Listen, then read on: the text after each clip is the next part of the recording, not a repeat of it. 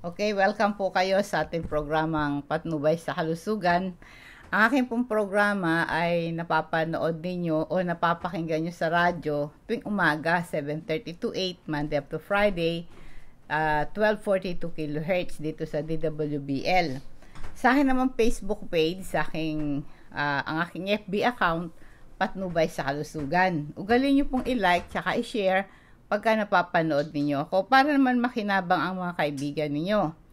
Ganon din sa aking YouTube channel, pwede nyo hanapin yung Rose Alfonso, i-click nyo yung subscribe para ma-notify kayo sa aking bagong video. At ganon din po para mapanood nyo lahat yung aking series of lecture, marami kayong matututuhan tungkol sa natural medicine. Ako po si Ma'am Rose, hindi po ako medical doctor. Ako isang health educator, member ng KBP, kapisanan mga broadcaster sa Pilipinas mula pa noong 1985. Bilang isang uh, uh, health educator po, ako'y nagtapos ng Bachelor's of Education degree. Nagpatuloy mag-aral ng Public Health at Natural Medicine sa Jensen International Institute of Health sa Escondido, San Diego, California. Ang aking pong pinaka-mentor ay si Dr. Bernard Jensen. Pero tandaan nyo, may iba't ibang lunas sa sakit ng tao. Kaya lang, pinakamainam, magpakonsulta kayo sa doktor, no? Ang sa akin po ay knowledge or education or information na maging gabay ninyo para maging aware tayo sa pag-aalaga sa ating kalusugan. Pero hindi ko ibig sabihin na palitan nyo ang serbisyo ng doktor. Kailan meron doctors medication, at the same time, sa akin po ay mga home treatment. Ngayon, ang akin topic ay tungkol sa ang labis na katabaan ay tinuturing na pinaka nakakamatay na sakit. Ito po ang dahilan uh, bakit nagkakaroon ng diabetes, nagkakaroon ng sakit sa puso, dahil nga sa sobrang katabaan. Ngayon, mayroong mga pagkain na pwede mong kainin at mga pagkain dapat nating iwasan para manatili ang ating timbang. Marami akong tips na ibibigay sa inyo para pumayat. Ano po ba itong mga paraan para tayo magpapayat, no? Una, uh, huwag kayong magpapagutom. Kasi pagka nagutom ka, mas marami ka nakakain. Kailangan, pwede kang kum- kumain ng madalas, konti-konti lang, no? Huwag po kayo, ang bawal na bawal yung magpagutom. Pangalawa, magplano kayo ng isang exercise babagay sa iyo. Yung komportable ka, hindi kayong uh, maaring exercise ka ngayon, bukas hindi na. Yung bang komportable ka ba, yung kaya mong gawin sa araw-araw. Kasi pagka nag-exercise ka araw-araw, nabe-burn mo yung calories. Kasi pag naipon yung calories, yung naipon na calories na yon halimbawa, ay 500 calories, 1,000 calories, naku, magiging ano na yon uh, isang timbang na na ang dadagdag sa inyo. Kaya kailangan magplano ka ng isang exercise na babagay sa iyo na hindi naman nakakaabala, nag enjoy ka dun sa ginagawa mo. Tulad ako po, ang ginagawa ko pag gising ko sa umaga, alas 4 ng umaga, tapos mga 5 o'clock hanggang 6 o'clock, nag exercise ako. Yung exercise ko na yon yun ang uh, pampapawis ko, biniburn ko yung calories ko. Kasi kapag ka nag-exercise ka, uh, mabilis matunaw ang taba mo. Kasi ang tumutunaw ng taba natin, yung ating muscle. Pag ang muscle mo ay hindi aktibo, walang tutunaw ng taba mo. Pag very weak ang muscle mo, ma- ma- lalong kakapit ng kakapit yung taba sa katawan natin. So, para hindi kumapit yung sobrang taba sa katawan, kailangan aktibo yung muscle. Meron kang strong muscle. Magagawa mo lang yon pagka nag exercise ka, kailangan iwasan mo yung most of the time nakaupo ka. Kailangan gumagalaw ka kasi ang tao, dinesign ng Diyos ang tao na moving element, hindi tayo stagnant. Kailangan gumagalaw tayo. At huwag kang magpupuyat. Matulog ka na maayos. Anong dahilan? Meron kasing dalawang klase ng hormone, ghrelin and uh, ito pong uh, itong ghrelin, no? At ito, uh, ito pong ghrelin na to, ito yung hormone na nagpapagana sa yung kumain, no? Meron po kasing tayo na uh, sa katawan natin na hormone na pampaalis ng appetite, no? uh, ito pong, kasi po alam natin, ang ating katawan ay meron tayong built-in mechanism, no? Para ating pong makontrol ang ating katawan. Kaya po ngayon, itong, itong mga hormones na to, yung ghrelin na to, na ito po yung mga hormones na aktibo, ito yung mga bad hormones. Kaya itong dahilan bakit yung mga uh, na, na nagpupuyat yung call center, uh, syempre pagka sila kulang sa tulog, tendency pagka ikaw ay gising, uh, merong isang bad hormone na lalabas sa'yo na yun ang mag-uutos sa'yo na kumain ka ng kumain. Kaya nga po itong ghrelin na to, na ito yung hormone, na bad hormone, na lumalabas sa katawan, na ito ang magsasabi na, ay gutom ka, gusto mong kumain. No? Kaya ngayon, para, para mawala yon pagka tayo po ay uh, tayo po ay nak- nakakatulog ng mabuti, meron kang sapat na oras ng pahinga, hindi po nagiging aktibo yung ghrelin na yon. Hindi siya aktibo. Kaya hindi ka gutumin. Kaya nga ang, ang, ang sekreto sabi, huwag kang magpuyat. Matulog kang ng maaga. No? Yung po kasing leptin, etong leptin na to, ito naman po yung aktibo pagka ikaw ay uh, nakakapagpahinga, tapos hindi ka masyadong pagod. Kaya po, hindi nyo po ba napapansin na meron po dating katulong yung ate ko, ang payat-payat lang niya. Eh dahil siya puyat, alas 12 na siya matulog, tapos alas 4 magigising dahil may kantin, bigla na siyang tumaba. Kasi nga po yung puyat at kulang sa pahinga, eto yung na, nagiging aktibo yung ghrelin, ito po yung nakakapagpahina ng pag-burn ng fats mo sa katawan. Kaya pinapayo, para mag-lose ka ng weight, huwag kang magpuyat at matulog ka ng maayos. At kumain ka ng masustansyang pagkain. Ito yung mga tips para pumayat ka, no? Yung mga pagkain nakakapayat, uh, para hindi ka magkaroon ng sobrang timbang, yung maraming prutas at gulay. Kasi ito po kasi prutas at gulay, sandali mabubusog ka. Sandali mabubusog ka pagka kumain ka ang daming gulay. Kaya pinapayo, kada kumain ka, meron kang isang tasa ng gulay. Isang tasang gulay nito. Ito po yung na, na, na, nababawasan mo yung kain mo ng kanin. Kasi yung pong sobrang kain ng kanin, carbohydrates, yung maha, mahilig ka sa carbohydrates, ito yung madbali, mabilis makapagpataba. Kaya kailangan, uh, kung kumain ka, pinakamarami na yung isang tasang kanin. Kung magagawa mo, ay kalahating, kalahating tasang kanin, pero meron kang isang tasang gulay. At pagkakain ka, huwag kang mabilis ngumuya. Dahan-dahan mong nguyain yung pagkain mo. Kasi hindi pa nare-register yun sa utak mo. Kasi po kaya tayo busog, dahil ito'y dictate ng ating utak. Kaya pagka kayo mabilis kumain, hindi pa nare-register sa utak mo, nabusog ka na. Kaya ngayon, dahil kaya kain ka, kaya pagka one thing, pagka kumakain ka, kailangan hindi yung kaharap mo yung laptop mo, kaharap mo yung TV, o kaharap mo yung cellphone mo. Kailangan pag kumain ka, naka, nakapokus ka doon sa kinakain mo, tapos nguyain mo mabuti, at saka isa pa, para hindi ka malakas kumain, isang oras o 30 minutes bago ka kumain, uminom ka ng isang basong tubig na maligamgam. 'Di ba sinasabi mo, ay naku, nawala na akong ganang kumain kasi na, natubig ako eh. Napasobra ako ng inom ng tubig. So ngayon, para maiwasan natin ang sobrang timbang, 30 minutes bago kayo kumain, uminom kayo ng isang basong tubig na maligamgam. At kada kain ninyo, meron kayong isang tasang, ka, isang tasang gulay. Pagkatapos, pinakamarami na yung isang tasang kanin. Tapos dahan-dahan mo siyang nguyain. Kasi po yung mabilis kumain, hindi pa na, kasi bago ma-registered sa utak mo na busog ka na, ay 30 minutes. Eh 10 minutes pa lang tapos ka nang kumain. Kaya maya maya gutom ka na naman. Maya maya gutom ka na naman. Kasi hindi na-register sa utak mo na busog ka na. Kaya anbawa, nagutom ka. Actually, hindi ka gutom eh. Yun, yun ay acid sa tiyan dahil nat, natunaw yung pagkain mo. Yung pagkain mo, yung syempre, ang byproduct ng pagkain mo, acid yun, di ba, sa tiyan.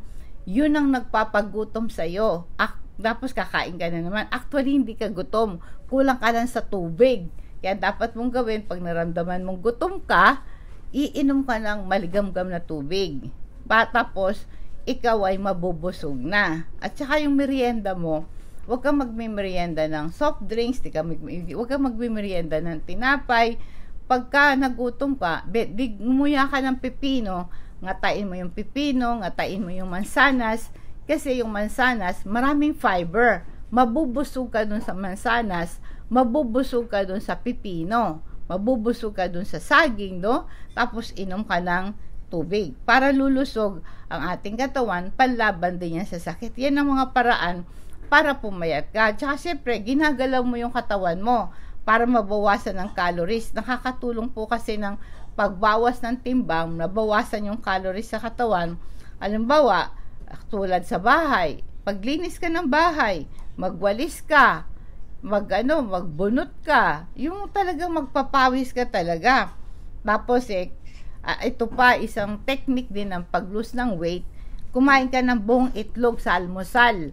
Maglaga ka ng itlog, yung itlog, ilaga mo siya, yung buong itlog, laga mo siya para meron kang protein. Kasi ang protein, ito yung tumutulong para ma-burn ang fats mo. Kaya, kaya ngayon, may protein ka, isang buong itlog, ilaga mo siya, uh, kainin mo siya. Tapos, maaring, uh, ako po, pagka ako, ano, nang, syempre, pag kulang ka sa pagkain, manghihina ka, di ba? Ang pampalakas po ng katawan, isang itlog, kainin mo siya. Tapos, huwag kang iinom ng kape. Kasi yung coffee, may sugar yun, di ba? Kaya, nag, nag, nagiging acidic ka pa doon. Ang gawin mo lang, minom ka lang ng tubig o kaya hot tea. Ako po ang ginagawa ko, yung luya, kasi yung luya kasi, uh, maganda po kasi ito sa sikmura. Isang akong ginagawa ko, isang luya, yung bawa isang 1 inch na luya, yung mapayat lang na luya, hindi mataba, ah. yung payat lang na luya, mga 1 inch lang, tatadtar, uh, pupukpukin ko ng pinong-pino. Tapos ilagay ko siya doon sa pinakulong, pinakulong tubig tapos lagyan ko ng isang kutsara ng ginger powder. Ito namang ay ito yung ano turmeric powder kasi yung turmeric powder ko binibili ko to sa grocery. Yung turmeric powder, bibila ko ng turmeric powder, tapos ihahalo ko do sa dinikdik ko na luya, yung sariwang luya. Di, ka, di ba maanghang yon Yung pagkaanghang nun, ito po yung pang-iwas ng appetite. Yung anghang ng luya, tapos dinagdagan mo ng turmeric, pang-alis ng gutom para hindi ka gutumin. Kaya iwasan mo yung kumain ng maraming asukal, bawasan ang pagkain ng mataas ang carbohydrates. Yan ang mga, mga paraan para pumayat ka. Uh, and paalala po sa vitamin C. Ang vitamin C, tumataas ang production ng infection fighting white blood cells. Kasi ang katawan natin, meron tayong natural killer cell. Itong natural killer cell natin na to, Tandaan nyo yung virus, walang gamot sa virus. Ang ginagamot po ng antibiotic, yung bakterya. Pero di ba meron kasi dalawang klase ng infection sa katawan. Bacterial infection and viral infection. Yung nCoV, yung coronavirus, yung corona virus yan. So walang gamot diyan. Ang may gamot, yung bakterya. Ginagamitan natin antibiotic or penicillin. Pero yung virus, walang gamot kusa tayong gumagaling. Kusang gumagaling ang katawan kung meron kang viral infection. Papaano? Palakasin mo lang ang immune system mo. Paano mo mapapalakas ang immune system mo? Uminom ka ng vitamin C. Ang vitamin C, tumatas ang production mo ng pampatay sa virus. Ang number one mong papatayin, yung coronavirus. Ito po itong mga, itong antibodies na to, ito yung mga white blood, kasi meron tayong dalawang klase ng dugo sa katawan, white blood cells and red, red blood cells. Yung white blood cells natin, itong tinatawag natin the soldiers of the body. Ito yung mga killer cell natin. Para yung killer cell natin mapatay yung virus na yan, kailangan mo ng vitamin C. Yung vitamin C po ay meron siyang potent antioxidant power. Para yung mga harmful molecule, tinatawag nating free radical, hindi makapasok sa katawan. Kung pumasok man sila, hindi tayo pipinsalain. Kasi po ang mga virus, hindi sila, hindi sila buhay. They are not, they are, they, they are not living thing. Non-living thing ang virus. Ang bakterya, living thing. Kapag ka non-living thing, pag pumasok sa katawan, nagre-replicate. Uh, dumadami sila, ginagam nagiging host yung katawan natin. Yung mismong katawan natin ang ginagamit nila para sila dumami. Kasi hindi nga sila buhay eh. Kaya pag pinahintulutan mo dumami ng dumami sila, yun ang papatay sa atin. So, para hindi sila dumami, nagkoko sila ng degenerative diseases, mag-take ka ng vitamin C. Pagkatapos, uminom ka ng hot water, uminom ka ng ginger, ang ginger ang number one nakakapatay sa virus at saka yung garlic. Yung, kaya ako ginagawa ko yung isang butil ng garlic, dinidikdik namin yon tapos nalagay sa kutsara, pinipiga ng isang kalamansi, tapos ha, uh, kahit na brown sugar, kung wala kayong honey, inumin mo to 3 times a day before meal. Para yung mga bacteria or virus sa katawan mo, yun ang natural antibiotic mo. Kaya sabi ko nga, meron tayong natural mekanismo, built-in mechanism, meron tayong natural killer cell. Ang tawag doon ay T cells. Ito mga T cells na to, ito po ang ginagamit ng katawan para puksain mo yung mga free radical na yan. Kaya huwag kayo mawala ng vitamin C ah. Gamitin mo yan. Mabibili nyo po to sa atin sa Lagman Building. ang isang bote nito ay 90 tablets. Bali, 750 pesos ito Bale, ang gawin nyo lang po, punta lang kayo sa office natin sa Lagman Building. Sakay lang kayo ng LRT, baba kayo ng Blumentritt LRT station. Pagbaba nyo, nasa, nandun sa mismong kanto ang Lagman Building, may 7-Eleven doon. Yung office natin, pag akyat doon, merong security guard na nakaupo sa baba. Eh, kausapin nyo lang po siya, pagbebentahan kayo. Ang pangalan po ng security guard natin, si Moss Puntahan nyo siya, nandun siya alas 7 ng umaga hanggang alas 7 ng gabi. Sunday up to Friday, wag lang araw ng Sabado. Ho! Kaya ngayon, inuulit ko, paraan para mag-lose ka ng weight. Ayon sa pag-aaral, ang pagkain ng prutas at gulay, mga 5 to 9 daily serving, ito'y sapat sa isang araw, mabisang paraan para pumayat ka. Itong, alam mo, isang bowl ng prutas, bawa, meron diyang melon, o kaya Paano? Pinya. Kainin mo yan araw-araw. Para maiwasan mo yung labis na kain. Alam mo kung ano ang, ang nakakapagpataba?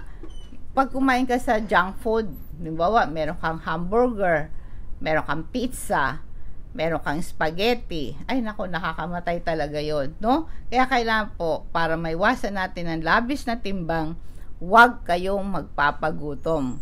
Huwag kayong kakain ng napakadami pwede kayong kumain ng madalas pero konti-konti lang. At damihan nyo ang tubig na iniinom nyo. Pag meron kang sapat na tubig sa katawan, mabilis ma- mabilis ma-burn ang iyong calories. Pag kulang ka sa tubig, mabilis kang mag-produce ng fat cell sa katawan. Ang nagpapadami ng fat cell sa katawan pag kulang ka sa tubig. Kaya kailan meron kang dalawang litro equivalent sa 8 glasses of water a day. Ako kayang ginagawa pag gising ko sa umaga, meron akong tatlong basong tubig na maligamgam na iniinom. Between meals ko, meron akong dalawang basong tubig ulit. Between meals, may dalawang basong tubig. One hour before meal, may one glass of water ako. Tsaka syempre, uh, ako'y aktibo. Palagi akong gumagalaw, kilos ng kilos, lakad ng lakad, lakad ng lakad ito'y mabisang paraan para pumayat ka. Kaya inulit ko, maging aktibo ka, lagi kang kumikilos, hindi kailangan na magutom ka, uh, pa- para mab- mabawa, kaya ka naman tumataba, magana kang kumain eh, di ba? Para maiwasan mo yung gana mong kumain, inom ka ng hot water. Yan, inom ka ng tubig one hour before meal. At saka para, mabi- para mabilis ang metabolism mo, nakakatulong po yung low carbohydrates. Madaming gulay, maraming protina ang kakainin mo. Iwasan mo yung mga red meat, no? Magkakain ka isda. Alam mo, ang mga Hapon, ang mga Hapon, bihira po sa mga Japan, Japanese ang matataba. Kasi ang mga Hapon, mahilig sila sa isda. sa salmon, tuna, mahilig sila sa isda. Hindi sila mahilig masyado sa red meat, kaya hindi sila matataba.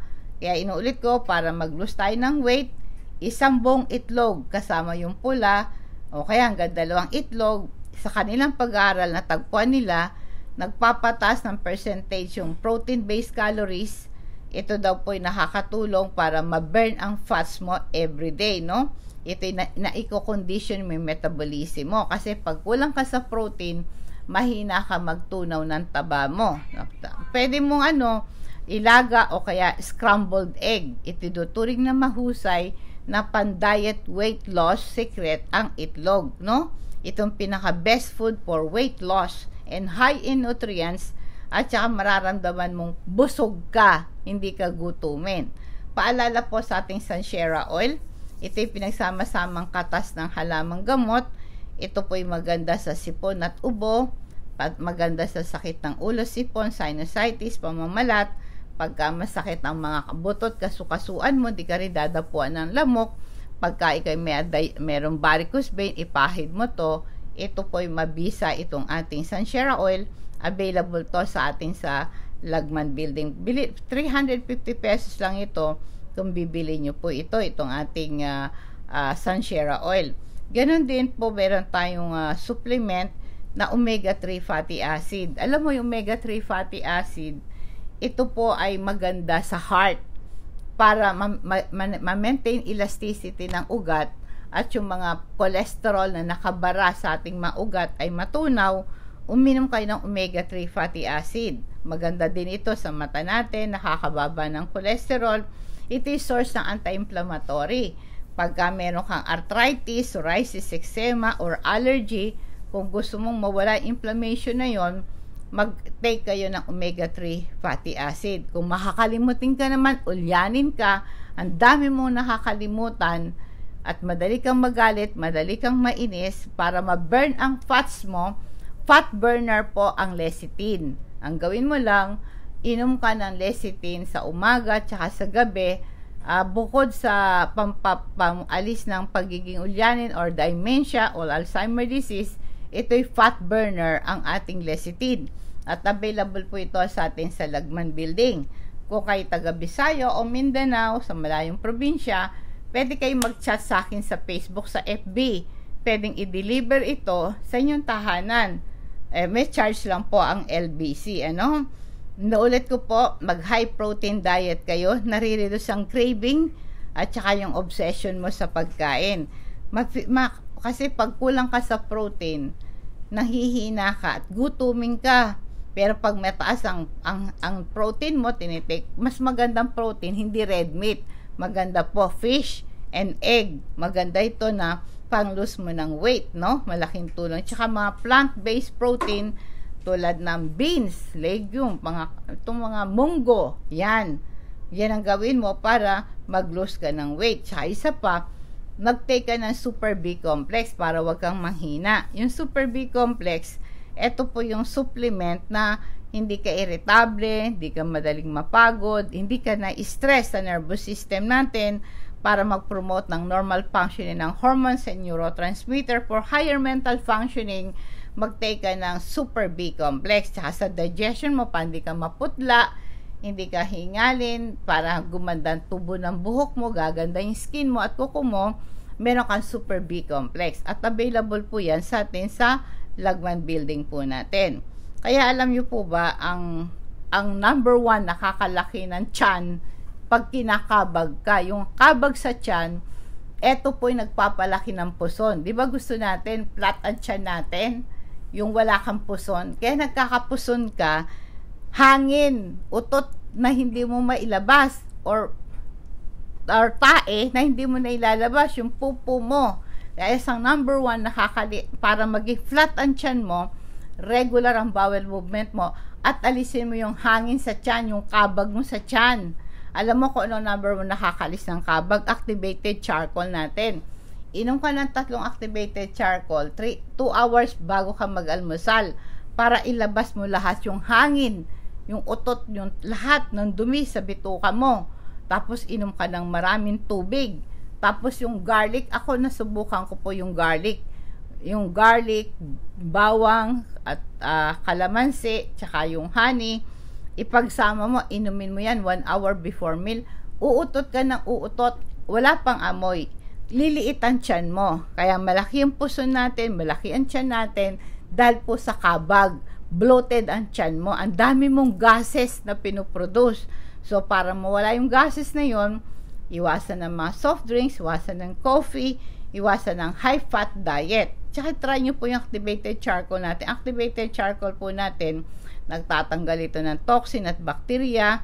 Ito po kapag uh, may bad breath ka, mawawala din ito. May digestive problem ka, food poisoning, sinisikmura ka, dinidigay, kinakabag ka, maasim ang sikmura mo, at pang prevent ng tetano or infection sa sugat. Kung nakagat ka ng aso, nakalmot ka ng pusa, hugasan mo mabuti ng tubig at sabon, pagkatapos buhusan mo ng agwaksinada o kaya uh, ito pong betadine, tapos lagyan mo ng activated char. Tapos inom ka rin ng charcoal din para matanggal yung toxin sa loob ng iyong katawan. Ano ho? Kaya inuulit ko po, ang ating kalusugan ay kayamanan, dapat natin itong pag-ingatan para maiwasan ang diabetes at high blood, mag-lose kayo ng weight. Nasabi ko kanina, yung mga tech, mga tips na sinasabi ko, sundin nyo po ito at malaking tulong na magagawa ito sa inyong kalusugan, no? Kumain ka dahan-dahan, huwag mabilis. Yan.